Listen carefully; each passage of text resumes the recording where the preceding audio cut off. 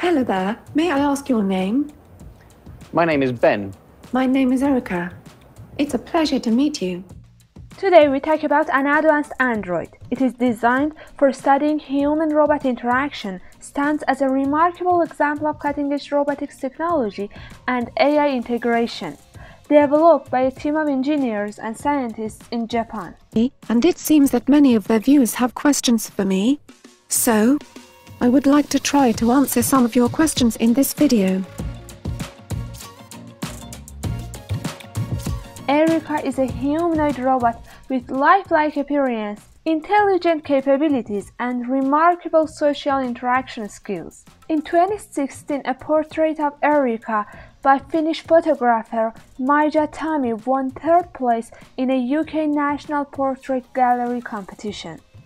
Equipped with a comprehensive array of sensors, Erica perceives and understands her environment. Visual sensors provide a high-resolution view, enabling her to recognize objects, detect facial expressions, and interpret gestures. Auditory sensors allow her to listen and comprehend human speech, facilitating engaging conversations.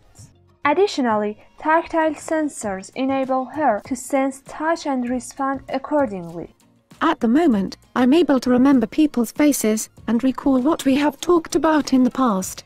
Erica's intelligence is driven by state-of-the-art artificial intelligence algorithms and machine learning techniques. With advanced natural language processing capabilities, she understands and responds to spoken and written language in a human-like manner. Erica's AI algorithms enable continuous learning and adaptation from interactions, constantly improving her abilities and knowledge base. The physical design of Erica is meticulously crafted to emulate human features and movements. Standing at an average height of 167 centimeters, she possesses a graceful and proportionate figure resembling that of an adult woman. Built using lightweight materials, her movement is fluid and natural. Expressive eyes, realistic skin texture, and intricate facial detail contribute to her ability to convey emotions and engage